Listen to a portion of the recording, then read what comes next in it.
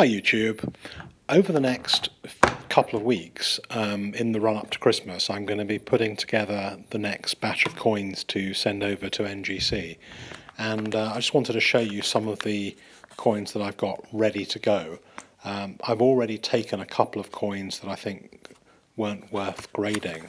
For example, a quite a shiny $10 eagle, uh, which has been sold this weekend. Uh, and the rest of the coins that I've been collecting are pretty much fine as far as I can see to go to NGC. The older coins hopefully won't get details grades.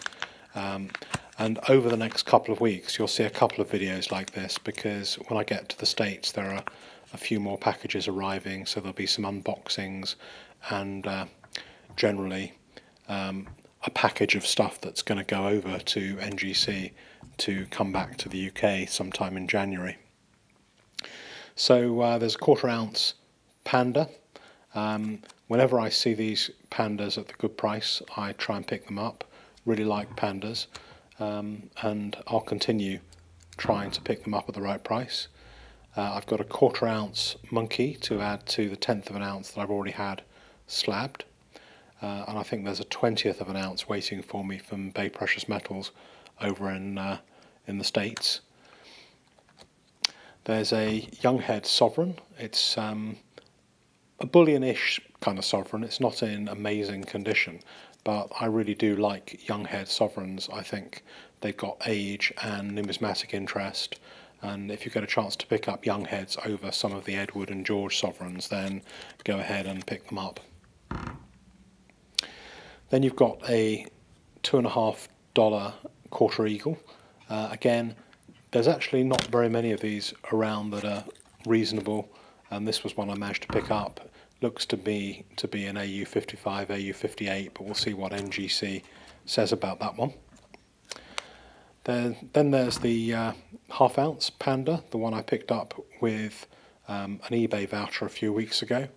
Uh, got a good deal on this from Germany, and uh, I'm going to have this one put into a slab there's the tenth of an ounce um, Britannia, 2007 Britannia I picked up the other day that I'm going to have slabbed. Um, I've already got another one of these slabbed as well, but it does no harm having two. Maybe, depending on what kind of grades they get, um, I might put one up for sale, but they're still nice coins. There's the random tenth of an ounce Libertad, which turned out to be a 2014. Uh, I've got a couple of those already and I'll have this one slabbed as well. I believe in getting these BU Libertads slabbed because the gold is so soft.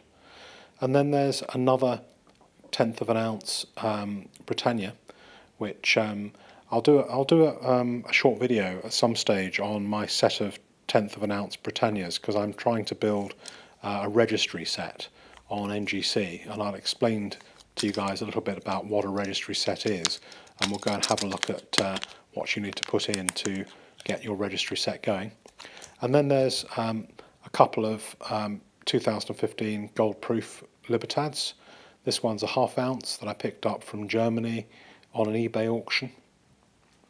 Then there's um, a quarter of an ounce here as well that I picked up from somebody on a forum who was breaking up a set. Um, I've got another one of these 2015s waiting for me in the States. And uh, I've also just been able to pick up, uh, and you might want to take a look at APMEX because they've got these at a very good price at the moment for the complete set of five. So let me know what you think, guys.